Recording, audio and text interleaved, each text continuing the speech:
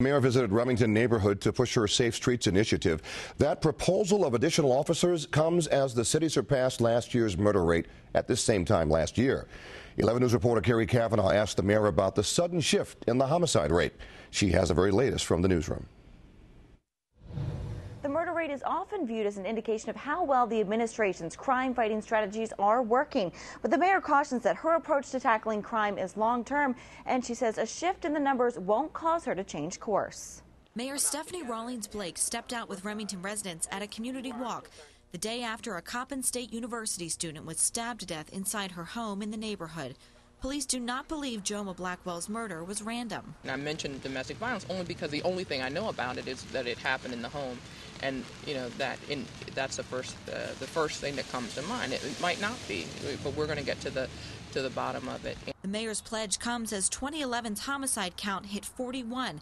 That's one more murder than the city logged during the first three months of 2010. We could squabble about numbers, but the issue is one over, two over, three under. It's still a homicide you talk about the last 10 years, or even the last three years, we're still at a significant drop. The mayor views the battle against violent crime as a long term effort, best tackled through initiatives like her Safer Streets agenda, which builds money into the 2012 budget to fill police vacancies, operate 515 crime cameras, and continue funding youth violence prevention programs.